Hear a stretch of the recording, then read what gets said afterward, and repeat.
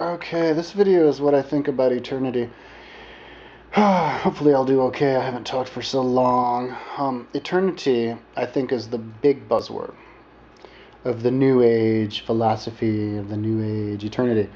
It's uh, people's minds getting expanded, expansing people's minds, uh, not having limited minds.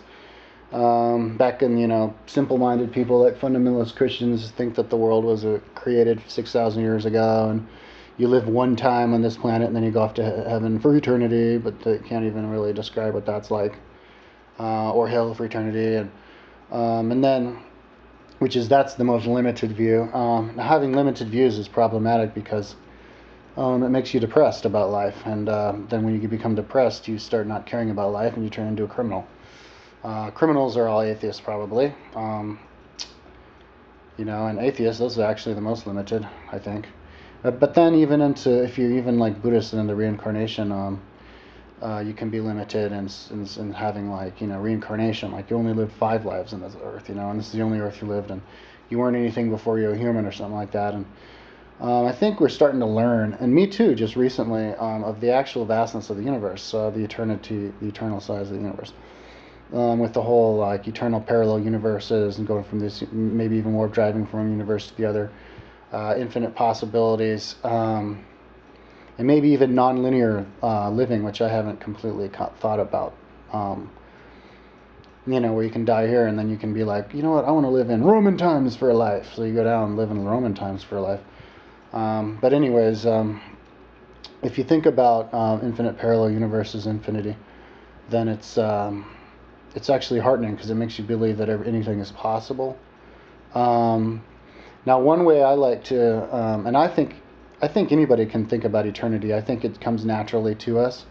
I think we're actually taught to have the limited mindset just because that's how we were thinking for thousands of years. And uh, but I mean, I, it's it's it's it's it's not above us. I remember I was thinking about eternity even when I was a kid. Uh, I moved to Boulder from Austin when I was six and I remember when I was on, Texas driving from like Austin to, to Tyler, like when I was a little kid in my mom's car, you know, my mom would tell me about eternity. And I remember like that was like my favorite thing to do, like when I was on road trips, is like think about the internal size of the universe, like go off into the, like the depths of the stars, and then you just keep going and keep going, and it never ends, and it just keeps going and keeps going, and literally never ends.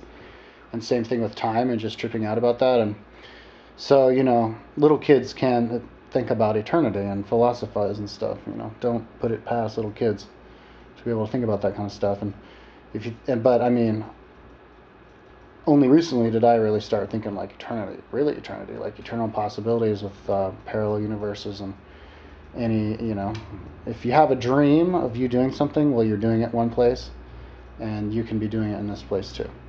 Um, I think one important uh, view about eternity, uh, exercise to do thinking about eternity is um, is uh, looking at a, a bug. And I look at all the little bugs in the world, you know, mosquitoes and even, even algae and all this stuff.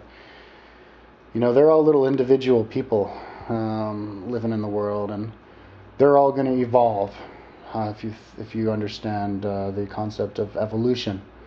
Um, you know, societies evolve, animals evolve, well, spirits evolve. So then the bug's going to evolve. It's going to reincarnate into a um, fish and reincarnate into a monkey, into a human, into a god, into everything.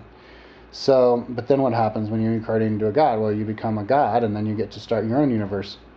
So basically, look at a tiny little bug. That little bug one day is going to become a god and start his own universe, in which in which there's going to be lots of little bugs living in that and all these different you know spirits bifurcating out of um, out of their spirit, which basically that's another uh, another video, spirits bifurcating out of spirits. But um, that's what eternity is. I mean, that is how vast eternity is. it's never ending. It, it, constantly expands and grows and uh, never uh, never stops. And so. Um,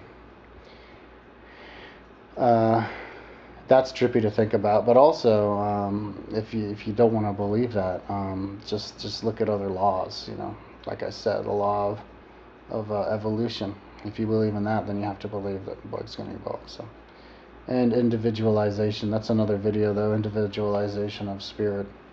Some people think that when you're when you're when you die, your spirit kind of explodes into a million different pieces and just evaporates into the cosmos, kind of like dropping a drop of water into uh, the ocean and then it just splits up and becomes part of the ocean. I think atheists and uh, atheists and uh, Buddhists believe that, um, and I don't believe that. I believe that uh, everything is connected and comes out of everything else, and but there's always that unit of you. There's all, you're always going to be you, and uh, that's what I prefer to believe. Um, it makes me feel better about myself and about my, you know, makes me want to believe in evolution. Um, but that, anyway, that's another video.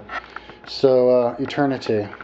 Um, I think uh, there's no limit. There shouldn't be a limit. Um, whoever's the limit, whoever has the most limits is the person who's the most closed-minded and who's the most retarded in the um, evolution of our our philosophy as a uh, civilization. Um, because I think it really is limitless. Um, if all you have to do is study um, uh, parallel universes, um, and that's actually one interesting thing that's happening right now. I think is lots of different parallel universes. But I think that is another video. So eternity. I think that's the big buzzword. Anything's possible. Uh, time will never end. Time never started. There's no limit to the universe, no limit to possibilities. Anything you think of exists, and that little bug's going to be a god one day. Mm-hmm. And start his own universe.